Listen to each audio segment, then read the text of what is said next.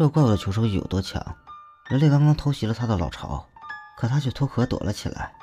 就在这时，那怪物的身影浮现在房顶，伸出一双大手，缓缓地向智叔摸去。吉野师在监控里看到这一幕，急忙通过广播提醒我们，这才察觉到异常。而那双手已经逼近智叔的脸颊。饶是智叔反应迅速，这一击也划破了肩膀。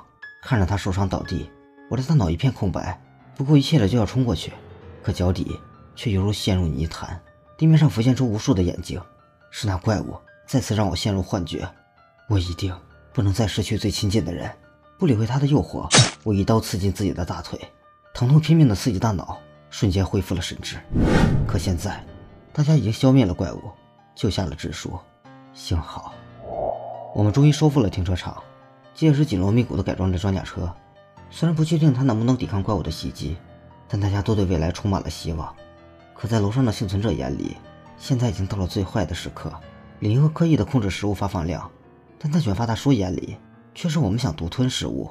尤其是见到我们从十四楼搬下了大堆的食物之后，他再也忍不住了，偷偷的去找过李银河，却无意中听了他和尚宇的对话。现在的食物已经所剩无几，但十四楼拿下的食物绝对不能动。